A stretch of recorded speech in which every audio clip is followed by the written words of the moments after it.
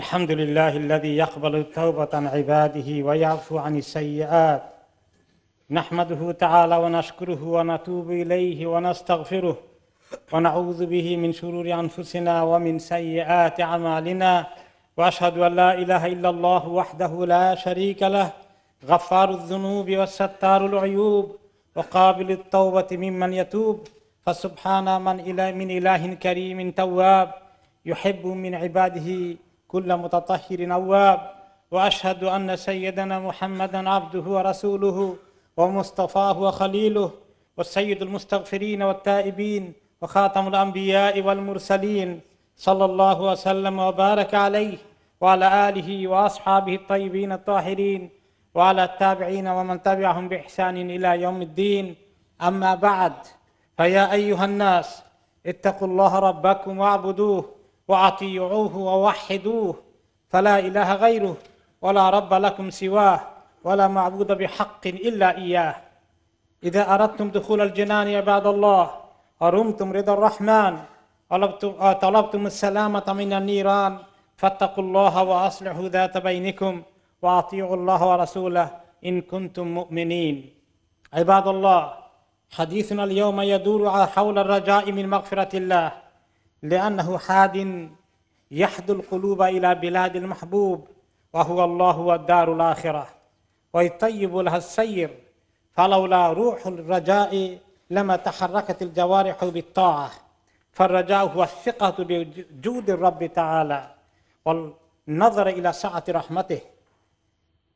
فبشر الله عباده في آيات كثيرة في كتابه الكريم. يقول عز وجل بعد أعوذ بالله من الشيطان الرجيم. وإن ربك لذو مغفرة للناس على ظلمهم وإن ربك لشديد العقاب সম্মানিত হাজিরিন আল্লাহ রবুল আলমিন তিনি আমাদেরকে এই পৃথিবীতে পাঠিয়ে জীবনখানা দিলেন নেক আমল করে গুণা থেকে দূরে থেকে আল্লাহ তালা সন্তুষ্টি অর্জন করে জান্নাতে যাওয়ার জন্যে কিন্তু আমরা এই দুনিয়ার ফিতনায় পড়ে গিয়ে আমাদের নেকির তুলনায় গুণা তো বেড়ে যাচ্ছে দিনের পর দিন এবং কি নিয়ে আল্লাহ তালার কাছে যাব। আজকেও কয়েকজনের, তিনজনের জানাজা আমরা পড়ব। চলে যাচ্ছে, সবাই চলে যাচ্ছে। শুধু আমরাই থেকে গেলাম, শুধু আমরাই থেকে যাব? এই যে অবস্থা, এখন যাব তো যেতে তো হবে, না যাওয়ার তো কোনো উপায় নেই। কিন্তু যাব কি নিয়ে, এত গুণা নিয়ে? এখন অনেকে হতাশায় আছি। অনেকের মধ্যেই চিন্তা আছে যে আমি তো ভালো হতে চাই নেকামল করতে চাই, পারি না তো। আমরা কোনো আমরা নিরাশ হয়ে যাই, হতাশায় পড়ে যাই। তো আল্লাহ রাবুল্লাহ আলমিন অনেকগুলো আয়াতে এবং রাসুল্লাহ সাল্লাম সুন্দর সুন্দর হাদিসে আমাদেরকে সুসংবাদ দিয়েছেন যে আমরা যদি আল্লাহ কাছে আসার সিদ্ধান্ত গ্রহণ করি, তাহলে আল্লাহ তালা আমাদের সমস্ত গুণাকে মাফ করেন তিনি কোনো পরোয়া করেন না। হতাশায় না পড়ে আমরা আশার আলো দেখতে পাচ্ছি। এবং এগুলোই আজকে আমাদের বিষয় যে কীভাবে আল্লাহ তালার কাছে আমরা আসব। কোন আশা নিয়ে আসব এবং কীভাবে আমরা চেষ্টা করব।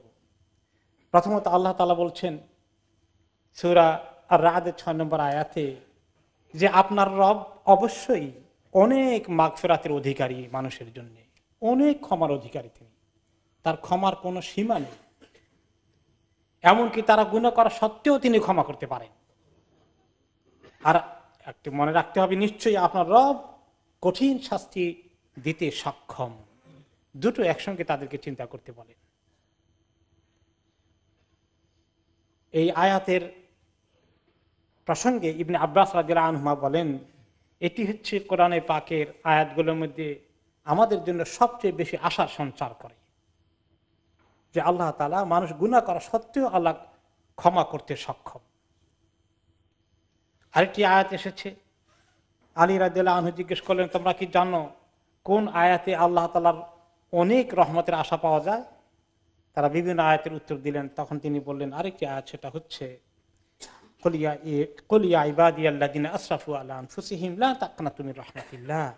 আপনি বলে দেন, হে আমার বান্দারা, যারা গুণা করতে করতে নিজেদের উপরে অনেক জুলুম করে ফেলেছ। এখন তুমি এর পরেও আল্লাহ তার রহমত থেকে হতাশ হইও না, নিরাশ হইও না, নিজেকে বঞ্চিত মনে করো না। কারণ নিশ্চয়ই আল্লাহ তারা সমস্ত গুণাকে মাফ করে দেন। তিনি অনেক ক্ষমাকারী এবং তিনি অনেক দয়াবন আল্লাহ তালা আরেকটি আয়াতে বলেছেন, যে ব্যক্তি গুণা করে বসে এবং নিজের নাফসের উপর জুলুম করে, অতপর আল্লাহ তালা কাছে এসে ক্ষমা চায় মাফ চায়, তাহলে সে অবশ্যই পাবে যে আল্লাহ তালা ক্ষমা করে দিচ্ছেন এবং তিনি অনেক দয়ালু। কি পরিমাণ ক্ষমা করবেন একটি হাদিসে? রসুল্লাহ সাল্লাম আমাদেরকে আল্লাহর পক্ষ থেকে হাদিস কুৎসি রেওয়ায়ত করে বলেছেন, হে বনি আদম, তুমি আমার কাছে যতক্ষণ দোয়া করতে থাকবে আর মাগ ফেরাতের আশা করতে থাকবে, ততক্ষণ আমি তোমাকে মাফ করে দেব। তোমার গুনার পরিমাণ কত হয়েছে আমি এগুলো মোটেই কেয়ার করব না। তোমার গুণা যদি ভর্তি হতে হতে আসমান পর্যন্ত ভর্তি হয়ে যায় ম্যাগ পর্যন্ত পৌঁছে যায় আর তুমি আমার কাছে ক্ষমা চাও ইস্তেকফার করো, তওবা করো, আমি তোমাকে মাফ করে দেব। তোমার গুণা যদি গোটা জমিনকে ভর্তি করে দেয়, এক মাথা থেকে আরেক মাথা পর্যন্ত কোনো এক ইঞ্চি জায়গায় নেই, সমস্ত জমিন তোমার গুণা দিয়ে ভর্তি হয়ে গেছে।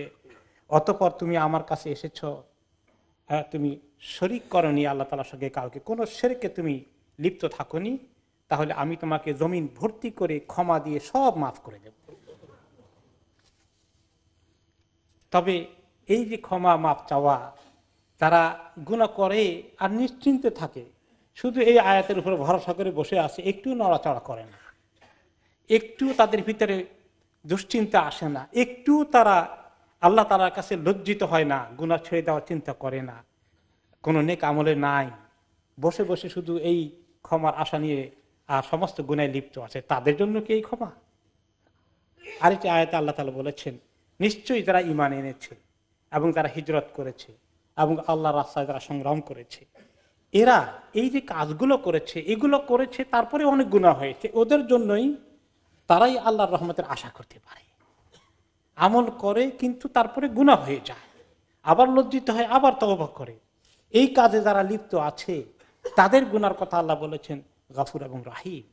বা এক পর্যায়ে মোটেই করেনি, এখন তার তওবা করার কথা মনে পড়েছে। এরপরেও সে যেন আশাবাদী থাকে, তার জন্যই এই সুসংবাদ কিন্তু যে একটু তবা করবে না, এই অবস্থাতে নিশ্চিন্তেই সে ঘুমায়, তার কোনো চিন্তা নাই, তার জন্য তবা নয়। এই জন্য ইমাম ইবন কাইম রহমতুল্লাহ বলেছেন, সমস্ত ওলামায় কেরাম একমত, যে ব্যক্তি কোনো আমলের চেষ্টা করে না, তার জন্য আশার কোনো সুসংবাদ নাই। আতাউল্লাহ সিকান্দ রহমতুল্লাহ বলেন যে যেই ব্যক্তি আশা, ওইটাই হলো সঠিক আশা পজিটিভ আশা, যে আশার কারণে বান্দা কিছু আমল জোগাড় করে নেয়। আমল করে আর আশা করতে থাকে, তার জন্যই এই আশার খবর আছে, সুসংবাদ আছে। আর যে ব্যক্তি কোনো আমলের খবর নাই, কোনো তওবার খবর নেই, তার জন্য এটি একটি শুধুমাত্র মনের আকাঙ্ক্ষা ছাড়া প্রকৃতভাবে কিছু আশাবাদী সে হওয়ার কোনো কারণ নেই। ইমাম আল গাজালি রহমতুল্লাহ বলেছেন, যে ব্যক্তি আশা করে সে কিছু উপায়, উপকরণ জোগাড় করতে থাকে। সে কিছু মশল্লা জোগাড় করে। আর যে ব্যক্তি আল্লাহ তালার নাফরমন মধ্যে একদম নাক পর্যন্ত ডুবে আছে, কখনোই নিজেকে তিরস্কার করে না, কখনোই তবার জন্য সিদ্ধান্ত গ্রহণ করে না, আল্লাহর কাছে আসতে চায় না। সেই ব্যক্তি নিজের জন্য যদি আল্লাহর আশা মগফেরাতের আশা করে বসে থাকে শুধু, এটা একটা আহাম্মকে ছাড়া আর কিছু নয়। তার অবস্থা হচ্ছে ওই ব্যক্তির মতো যে ব্যক্তি পাথুরে জমিনে, যে জমিনে কোনো রসকস পানি কোনো গন্ধ নাই, ওই জমিনে কিছু বীজ বপন করে আর কোনো পানি টানি সাপ্লাই করে না। সেটাকে সাফ করে না, সেটাকে জঙ্গল থেকে মুক্ত করে না খুব ভালো ফসলের আশা করে। ওই বোকার মতো হলো তার আশার বীজ। ইয়াহিবনে মহাদ রহমতুল্লাহ আলী বলেছেন, সবচেয়ে খারাপ ধোকা হচ্ছে গুনার মধ্যে ব্যস্ত থাকা আর লজ্জিত না হয়ে আল্লাহর কাছে অনুতপ্ত না হয়ে ক্ষমার আশা করতে থাকা আর নেক আমল না করে আল্লাহ তালার খুব নৈকট্য অর্জন করার আশা করা আর খুব জান্নাতের সুন্দর ফল ফসলাদির আশা করা আর জাহান্নামের জন্য বীজ বপন করতে থাকা। এইরকম আল্লাহ তালার সঙ্গে যারা সীমা লঙ্ঘন করে, এই আশার কোনো মূল্য আল্লাহ তালার কাছে নাই। কারণ আল্লাহ তালা বলেছেন, আমার বান্দাদেরকে খবর দেন যে আমি নিশ্চয়ই অনেক ক্ষমাকারী এবং আমি দয়ালু। আর এ খবর দেন যে আমার শাস্তি হচ্ছে অনেক কঠিন শাস্তি। এই জন্য ইমাম আল গাজালি রহমতুল্লাহ আলী যেটা বলেছেন যে আল খাউফু আর রাজা আল্লাহর ভয় ভয়ের কারণে কিছু আমলের চিন্তা, চেষ্টা আর আল্লাহ রহমতের আশা। দুটো পাখা একজন প্রকৃত মমিনের থাকে। যে দুটো পাখা দিয়ে উড়ে সে তার সুন্দর ঠিকানা জোগাড় করবে। কারও যদি দুটো পাখা না থাকে, কোনো পাখির একটি পাখা থাকে, সে পাখি কি উঠতে পারবে? তাহলে আল্লাহ তালার রহমতের আশা এবং তার আজাদের ভয়, এই দুটো রেখে যে ব্যক্তি এই আমল করে উঠতে থাকে, সেই জান্নাতের দিকে উঠতে উঠতে যাবে। আর এ দুটোই হচ্ছে তার জন্য সম্বল। এর একটার উপরে যদি সে ভরসা করে বসে থাকে, তার পার হওয়ার নাজাত পাওয়ার কোনো সম্ভাবনা নাই। আল্লাহ তালা আমাদেরকে যে এই সুসংবাদ দিলেন, আমরা অনেক গুণা করি, তিনি জানেন আমরা গুণা করব। সেই জন্য তিনি আমাদেরকে সুসংবাদ দিয়েছেন। কিন্তু কি সুসংবাদ? যে আমরা যখন গুণা ছেড়ে দেওয়ার জন্য চেষ্টা করতেই থাকব। আজকেও গুণা হয়ে গেল। কালকে আবার চেষ্টা করব। আবার চেষ্টা করব, আবার কাঁদবো, আবার তওবা করব।